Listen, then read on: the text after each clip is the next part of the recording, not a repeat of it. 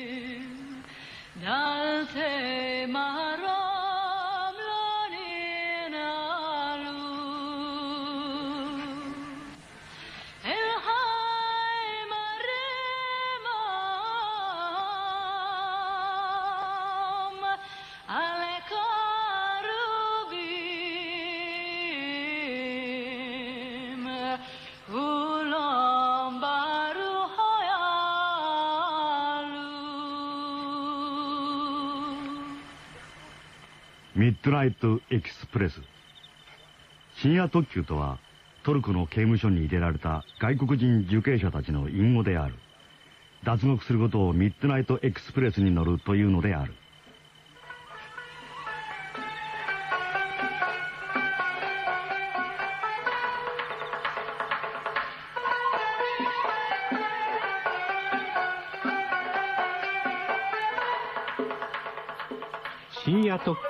第1便。原作沢木幸太郎。脚色日沼礼二。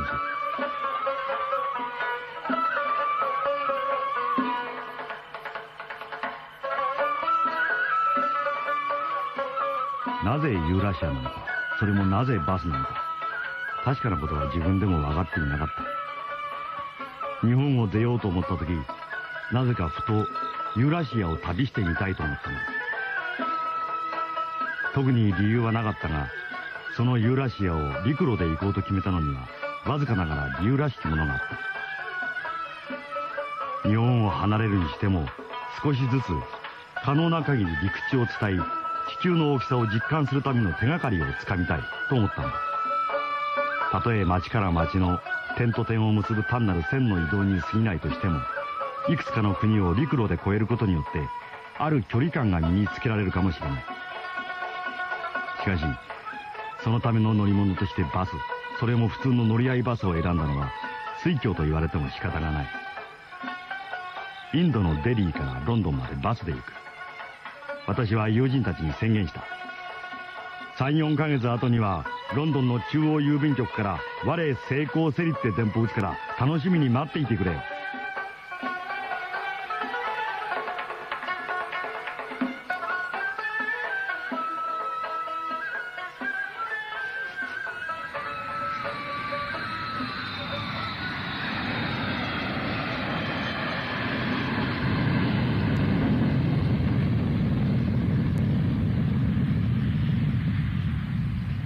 会社のルートマップによればデリーからロンドンまでは6500キロになる。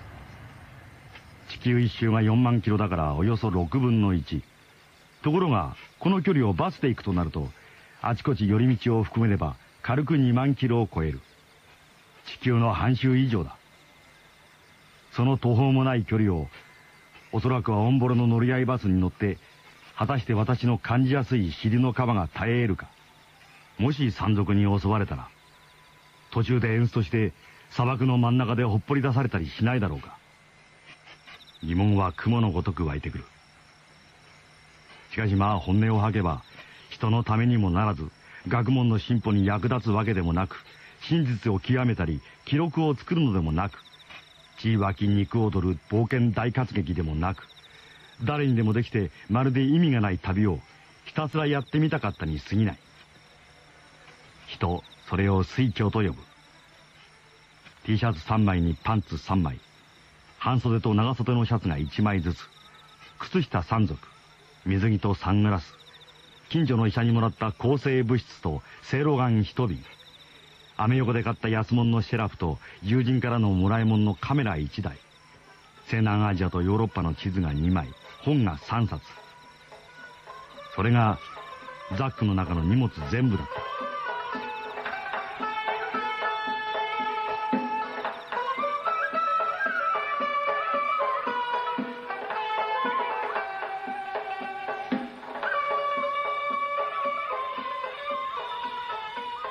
香港への基中で知り合った中国人が紹介してくれたホテルは迷路のような商店の密集する一角の奥にあった。エレベーターで11階まで上り扉が開くとそこがフロントだった。フロントというよりも帳場と言った方がぴったりくる。帳場の横のロビーで4人の男女がテーブルを囲んでいた。突然一人が甲高い叫び声を上げると麻雀パイが倒されテーブルの上に札が乱れ飛びシャーパイが始まる。これがホテルか。泊まるどころではない。どうやって断ろうかと立ちすくんでいるとパンタロン姿の小柄で鉄火な感じの女が出てきて英語で話しかけた。一人？そう。一人で泊まるつもりなの？もちろん。私の答えを女が早口で麻雀卓の連中に伝えると全員が一斉にこちらを見て不思議そうな顔をしている。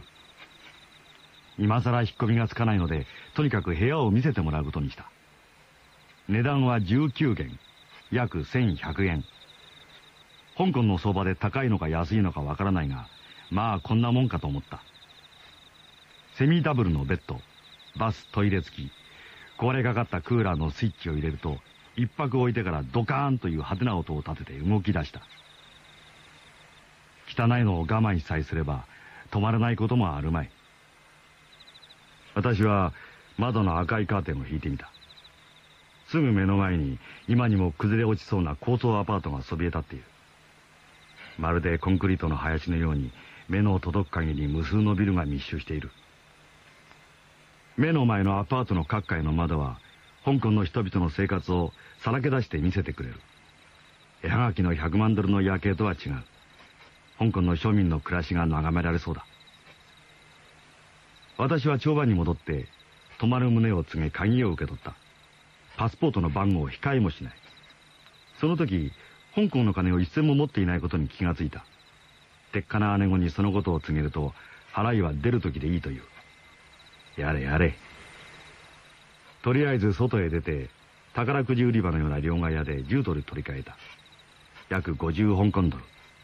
なんとなく豊かな気持ちになり通りすがりの食堂で美味しいシャーロンポーを食べるとその辺をブラブラして宿へ帰った。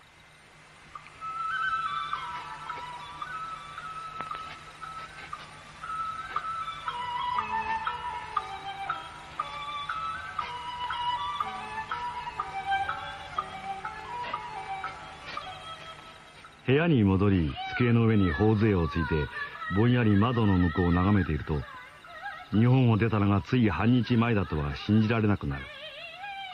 目まぐるしい螺旋階段をぐるぐる回りながら降りてきてたどり着いたのがこの部屋だったような気がしてくる。鉄火ネゴが渡してくれたカードには黄金宮殿迎賓館とある。ゴールデンパレスゲストハウス。なんと豪華な名前ではないか。ふと隣の部屋から妙な音が伝わってくるのに気がついた。音ではない。声らしい。細く糸を引くような女の声だ。それが突然しゃくり上げるような声になる。また細い悲鳴。もしや。ところが今度は反対側の部屋で似たような声がし始めた。ベッドのきしむ音まで聞こえてくる。間違いない。ゴールデンパレスゲストハウス。黄金宮殿迎賓館はどうやら連れ込み宿らしいのだ。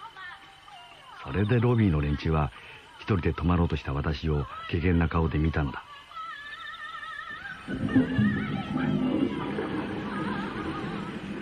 こいつは面白くなったぞ。どうやら両隣の部屋は入れ替わり立ち替わり大繁盛らしい。おかげでこっちは眠れそうもないがその時私はこの日が土曜日なのに気がついた。ゴールデンパレスゲストハウスは書き入れ時なのだった。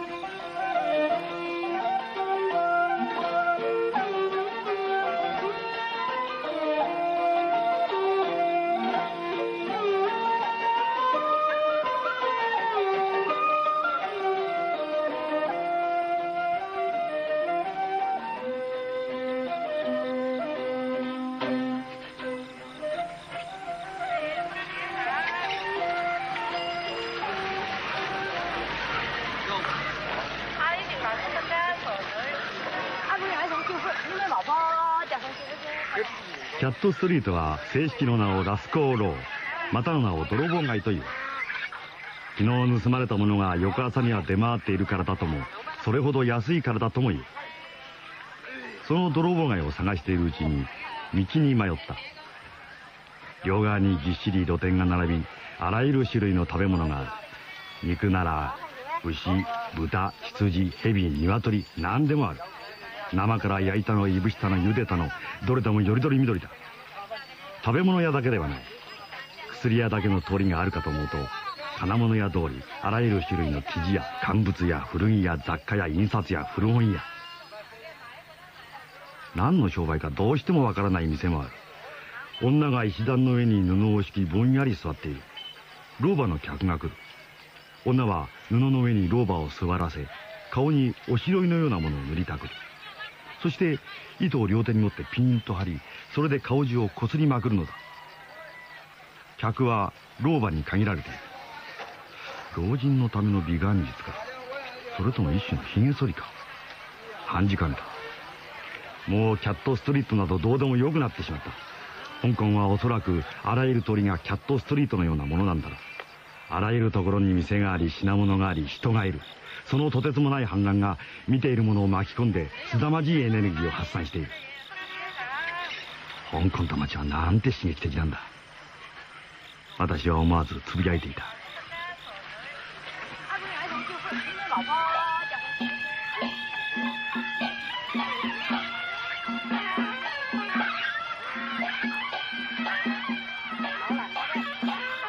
いくつもの通りを過ぎ足任せに歩いていると信じられない光景に出会った。何百何千という夜店が数百メートルにわたって延々と続いている。道の両側どころか四重の露店しかもその両側に普通の店があるのだから一本の道に六重になった店がぎっしり並んでいるんだ。その細い隙間を人がもみ合いながら溢れている。ベルトや時計やレコードやカバンやアクセサリーや街頭博打もある台の上には青い鯉と赤いエビに染み分けた手拭いが広げられている。ヤシはそれぞれに鯉とエビが描かれている六面の際に電光石火の早業で正方形のマスをかぶせて伏せる。その一番上の絵を当てるわけだ。いかにも人の良さそうなおじさんが二人の桜に挟まれて苦戦している。電球の柔らかい光カーバイトの匂い。駄菓子の毒々しい色。香港中の人間が全部集まってきたのではないかと思えるほどの圧倒的な人の熱気。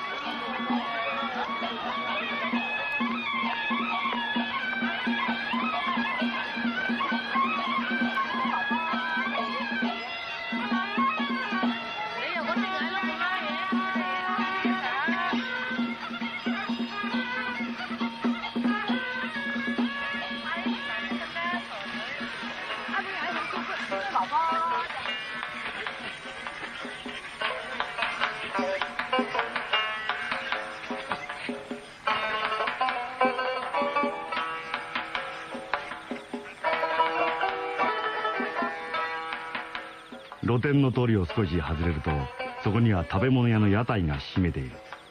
一軒の椅子に腰を下ろすと主は広東語で注文を聞いてくる。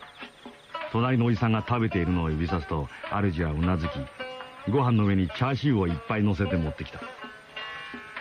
言葉通りチャーシュー飯でいいのだそうだ。隣のおじさんがビールをいっぱいついでくれ。路上を涼しい風が吹き抜ける。音楽のような異国の人の言葉を聞きながらほろ酔い気分に身を任せるかつての浅草もこんな風だったんだろうか。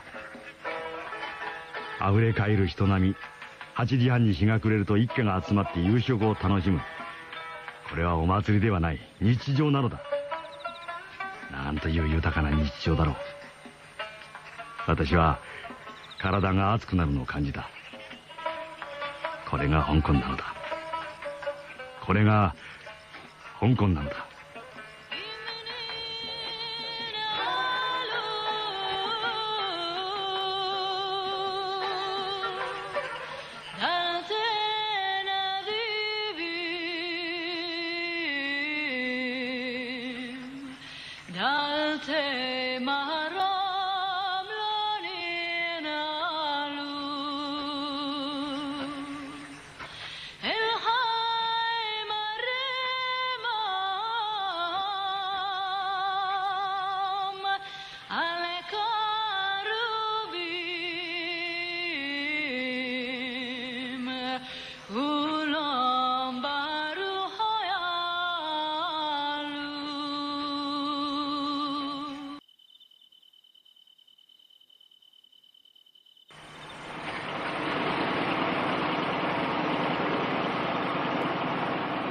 海は青く透き通ってはいなかった。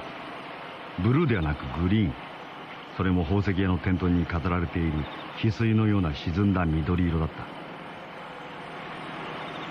トロンとした質感のある水の上を水中翼船が小刻みに震えながら滑っていく。海の緑はやがて不意に褐色の水に侵され始める。大陸の黄土を含んだ水が流れ込んでいるためだ。陸が近いのだ。香港を出て1時間余り海がすっかり泥の色に染まった頃船はマカオに着く。ゴアとマラッカとマカオ。いずれもポルトガルのアジア貿易の前進基地として栄えた都市だ。ポルトガルの没落とともに栄光の時代は去った。マカオは今や公営賭博の町として有名だ。私は元来博打には興味がなかった。競馬競輪競艇はおろか。花札カード麻雀もやらない。せいぜいやるのはパチンコぐらいである。超か半かという博打的な生き方には強い憧れを抱いてきたが博打そのものをやろうとは思わなかった。しかし偶然というものはわからない。私はマカオで生まれて初めて博打の世界に溺れることになってしまったのである。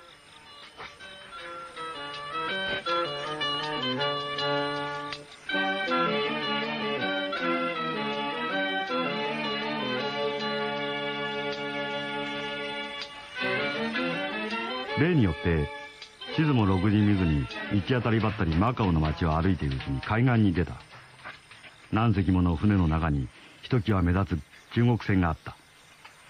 近寄ってみるとどうやらカジノらしい。それも途中で覗いたリスボヤホテルのカジノのような立派なものではなくいかにも罵声の博打場といった感じである。私はなんとなくふらふらと中へ入ってしまった。観光客は一人もいない。港で働いている日焼けした男や買い物姿の主婦などマカオの庶民たちがほとんどだ。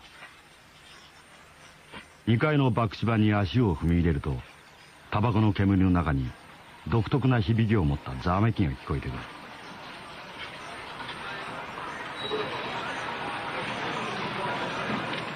る。いくつかのテーブルに人が集まり何種類かのゲームが行われている。私はそのうち対数大きい小さいの大小と書く対数という博打に興味を持った。対数大小はサイコロによる長半博打の一種である。違うのはサイの数が2個ではなく3個あることだ。サイコロを振ってサイの目の大小を当てる。3個のサイの目の合計は最も小さい数が3最大が18になる。その両側に当たる3と18を除き4から17までを2つに分け10までが小11以上大として書けるのである。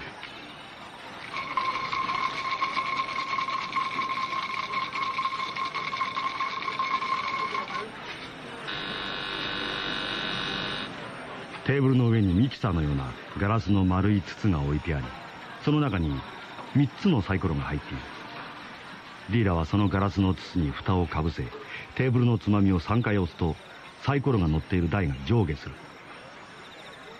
筒の中でサイコロが跳ね回るカランカランという気持ちのいい音がする。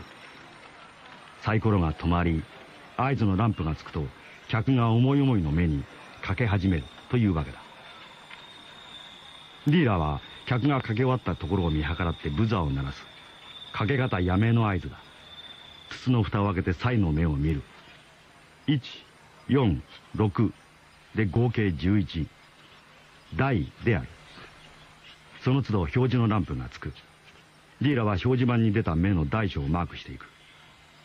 客はそこに並んだ大小小大大小大小小などというマークを見ながら次の勝負に出るわけである。人だかりの数から言ってどうやらこれがマカオで最も人気のある博打らしい。突然隣のテーブルでどよめきが起こった。見に行くとショーが9回続けているところにまたショーが出たのである。つまりショーが10回続けて出たのだ。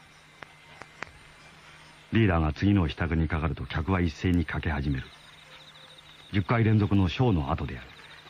果たしてまだショーが続くか。大に戻るか。ジーンズのポケットを探ると5ドル硬貨が手に触れた。締め切りのブザーが鳴る寸前私はコインをショーの上に置いていた。ディーラーが蓋を開ける。どよめきが上がる？114のショー私の5ドルは10ドルになって戻ってきた。私は儲けた5ドルをまたショーの上に置いた。ブザーが鳴り蓋が開けられる。333のショーまた勝った。と思った途端テーブルの上の金は全部ディーラーの手で回収されてしまった。3個の際の目が同じ。つまりゾロ目の場合は全て親の総取りになるというルールらしい。気がついた時私は15ドルを吸っていた。私はためらわずトイレに行って胸にぶら下げたパスポート入れから50ドル札を抜き出し両替所でパタカに変えた。私は戦略を立てることにした。しばらく見ているうちに大小というゲームの構造がぼんやりとだがつかめてきた。ディーラーは大でも小でもある程度まで自分の望んだ目を出せそうだ。客がある程度儲けた頃を見計らって逆の目を出す。例外はあるが100ドル投じた客が200ドルに増やして帰ることはあっても1万ドルを2万ドルに増やした客はほとんどいない。ということはディーラーがそうしたカムを巧妙にあしらいここぞという瞬間に彼らの裏をかくのではないか。だからその瞬間が分かりさえすればつまりつきまくった客の逆を行きさえすれば勝てることになるのではないか。私はもう50ドルをパタカに変え大金をかけていそうな客のいるテーブルを探した。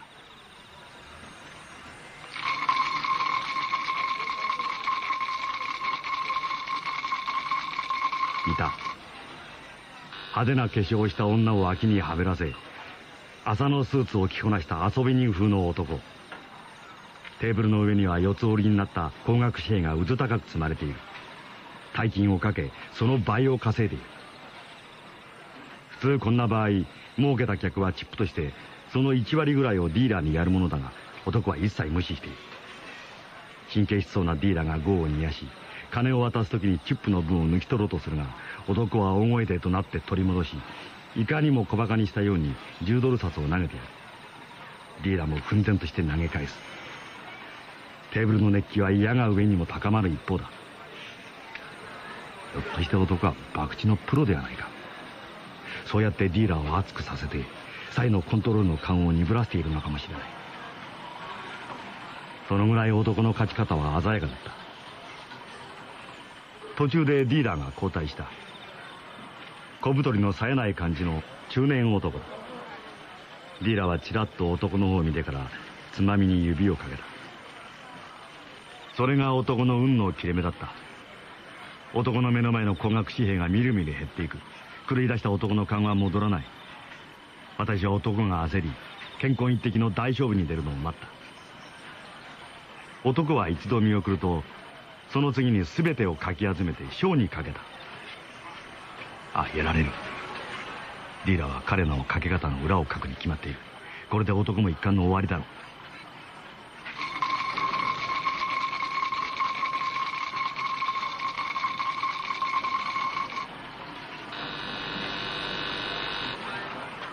私は男と反対の台に持っていた300パタカの全てをかけた。これで負けを取り返したら帰ろう。そろそろ切り上げ時だ。リーダーが蓋を外し張り台のランプのスイッチを押した。112のショーそんなバカな。私は目を疑った。だが上がりはショーについている。私の金はディーラーの手でかき集められ男はまた息を吹き返した。どこで間違えたんだろう。考えているうちにいつの間にか100ドルを吸ってしまったことに気づいて愕然とした。100ドルといえば香港で暮らした半月分の資料である。しかし辞める気はなかった。辞めるにはもう私は深入りしすぎていた。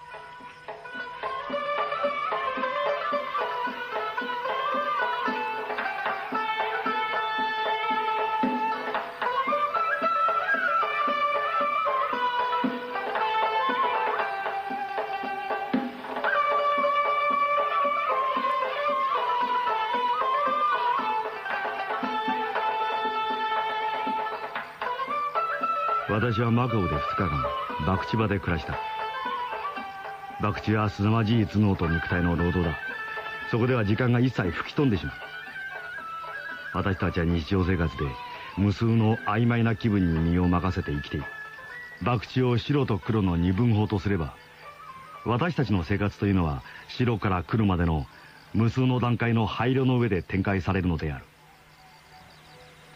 2日目の夜私はリスボアホテルのカジノで15時間過ごした。15時間立ち続けてその間一切飲まず食わず時計を見ると午前3時だった。疲労が足先から這い上がってきたが不思議に空腹感はなかった。ポケットのお金を数えてみると100パタガサスが52枚あった。1200ドル近い負けからどうやら200ドル程度の負けにまで挽回することができた。こんなものかなと思った。思いがけず博打の天国と地獄を垣間見ることができたのである。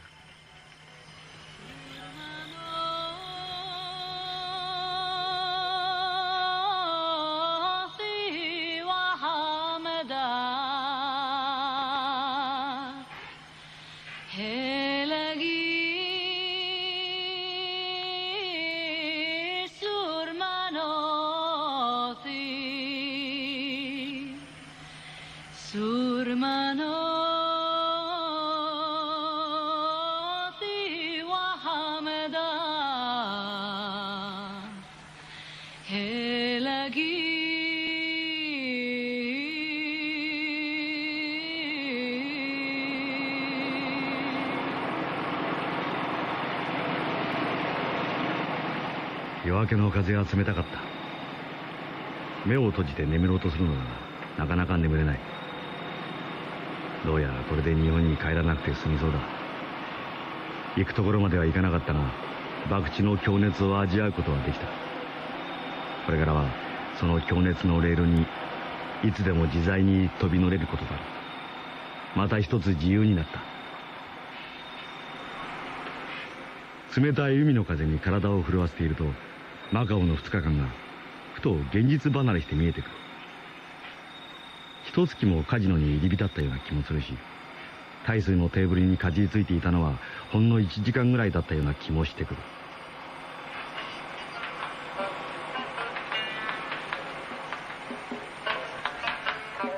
さまざまなディーラーやさまざまなギャンブラーたち全てが夢の中の出来事のようにぼんやりと霞んでいく。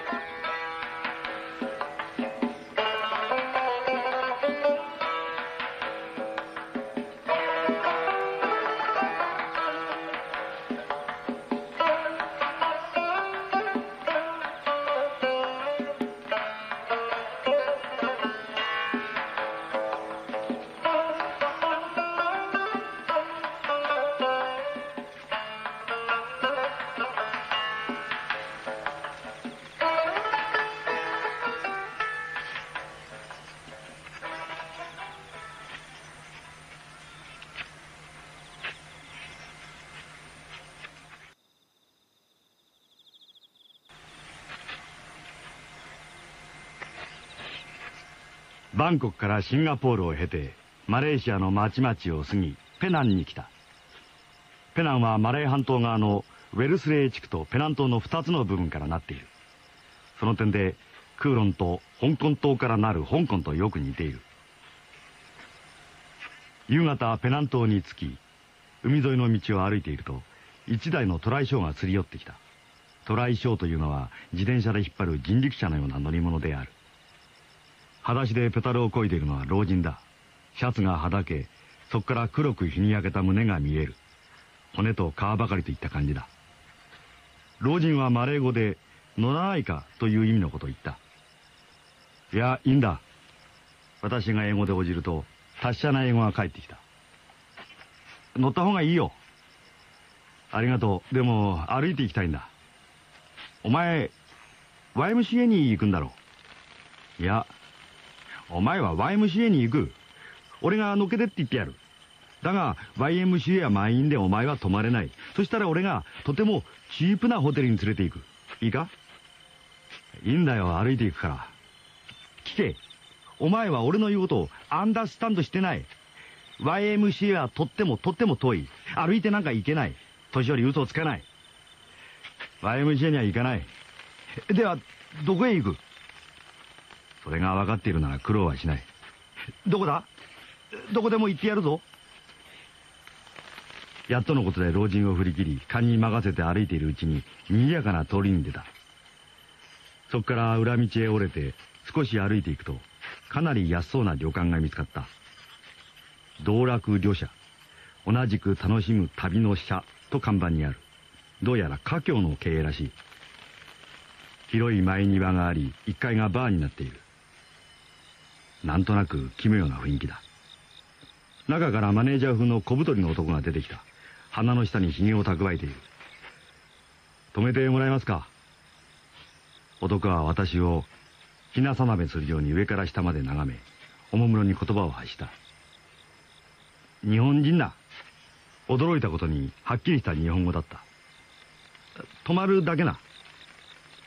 何日な。一日か二日のつもりだったが、急にこの男に興味をそそられ、三四日、遠目に答えてしまった。六ドルな。一泊？一泊六ドルな。高いな。もう少し安い部屋は。値切るのが習慣になっていた。5ドルな。男はいとも簡単に値下げした。予想した通りまともな宿ではなかった。2階の部屋に上がるとき、1階のバーにたむろしている女たちの姿が目に入った。どういうわけか、いかがわしい宿に泊まることになる。旅行案内所に載っているまともなホテルではなく、土地の人が利用する安宿となれば、こういうところへ行き着くのは当然なのかもしれない。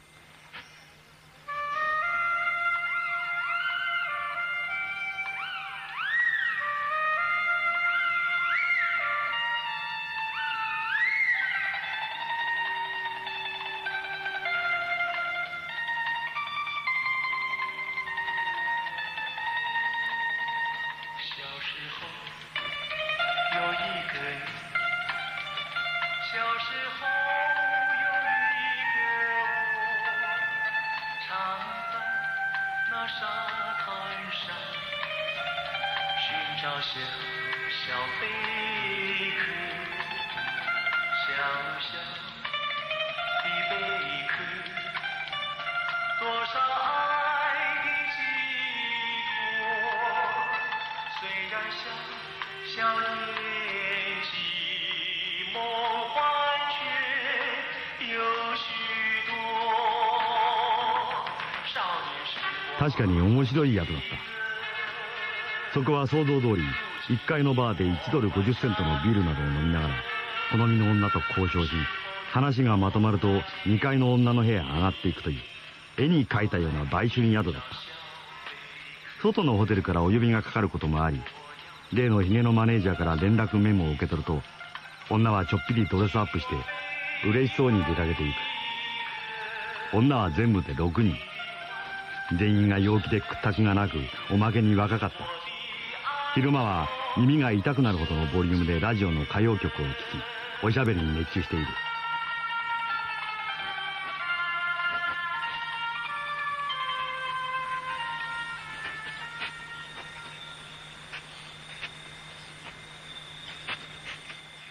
あくる日、昼食を食べて帰ってくると、前庭で女が一人ポツンとしている。はい。通りすがりに何気なく声をかけると、思いがけない挨拶が返ってきた。こんにちは。日本語喋れるの？少しね。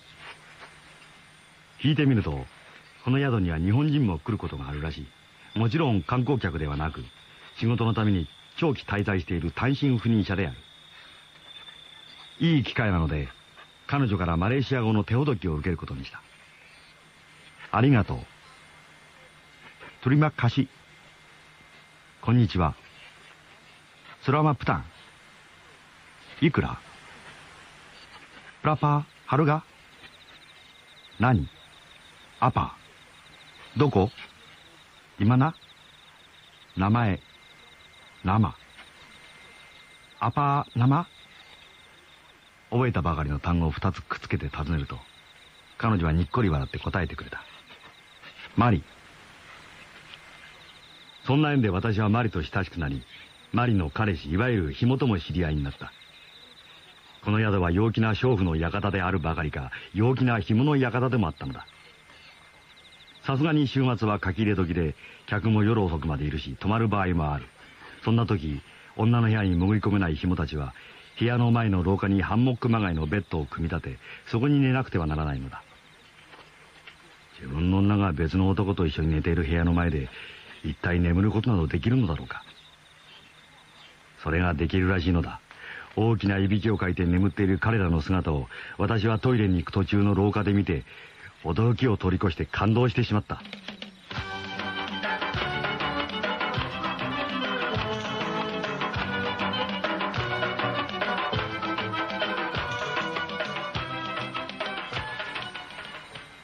ある夜マリの紐が私の部屋に遊びに来ていてひょんなことから日本批判を始めたことがある。私にカメラをくれないかとねだり断られるとすぐに諦め日本商品の優秀さの話になった。そのうちに傾きが変わった。日本の企業はひどい。ダムを作れば日本の資材と義手で作ってしまうし工場を建てれば組み立て工場ばかり。マレーシアの連中には何一つ勉強させず安い賃金でこぎ使うばかりだ。アメリカの企業は50%も上積みして給料をくれるというのに日本の企業はマレーシア並みかそれ以下だ。それならどうしてそんな会社に勤めるのかと言いたいんだろ分かってるさ。でもマレーシアには仕事がないんだ。それをいいことに日本人は吸い上げることしか考えない。その激しい誇張に驚いて聞いているとさらに言い募った。俺がそう言うと日本人は決まってこう言うんだ。マレーシアは日本企業の品質がなかったら困るんだろそうだ。と俺は答えるのさ。すると奴らはだったらなぜマレーシアの若い連中は反日運動なんかするんだ？と聞き返してくる。分かってないんだな。なのにじゃない。だからなのさ。確かに困る。だから頭に来るのさ。なるほど正論だ。確かに日本の企業は様々にマレーシアから搾取しているかもしれない。当然だから私もだ。しかしそうは思うのだが彼の言うことに何か引っかかるものがある。違和感というよりももう少し強い感情だ。だってそんなことを平然と言う君が女の稼ぎをかすめて生きてるじゃないか。誰かのセリフではないがそれを言ったらおしまいよとは思ったが私は熱くなり何とか反論しようと言葉を探した。ところがどうしても搾取という英語が思い出せず必死になって「あー」とか「うー」とかうなっていると彼が真顔で心配してくれた。気分でも悪いのか。私は体中から力が抜けどうでもいいや。という気になってしまった。そして思った。私が彼に筋違いな怒りを覚えたのも結局どうでもいいやという気になったのも私が彼を友人とみなし始めたからではないだろうか。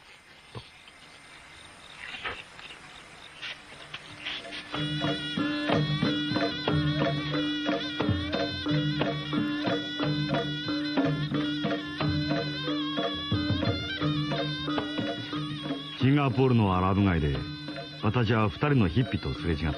ニュージーランドの若者で二人とも今年で21になるという。どこへ行くつもりなの？私が尋ねると彼らはほとんど声を合わせるようにして答えた「アラウンザワールド」世界一周。その声の調子にはどこか誇らしげな響きがあった。私たちはアドレスを交換しちゃった。私は何気なしに尋ねた。どのくらいの期間で回るつもりなの？すると一人がことも投げに答えた。3年か4年。私はショックを受け住所を書く手が止まってしまった。3年か4年？私はそれまで今度の旅を半年ぐらいで切り上げるつもりでいた。ところが途中の寄り道に時間がかかりとても半年でロンドンに着けるとは思えなかった。だがよく考えてみればいや考えてみるまでもなく何も半年で行かなければならない理由はどこにもないのだ。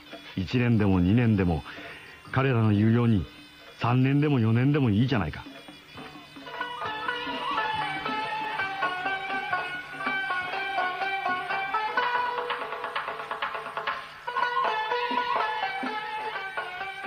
必要はないのだ。行きたいところに行き見たいものを見る。私は目の前の霧が吹き払われたような気分になった。私は柄にもなく酒を振る舞いたくなりビールを注文するとアンカーという銘柄が運ばれてきた。ニュージーランドの二人組と再会を訳して私はアンカーのグラスを上げた。まさに怒りを上げて出会った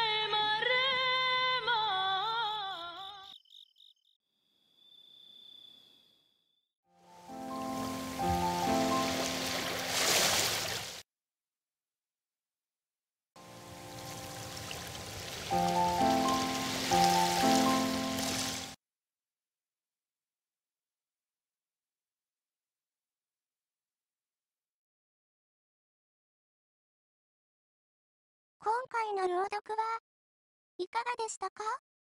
それでは、また、次回、お楽しみに。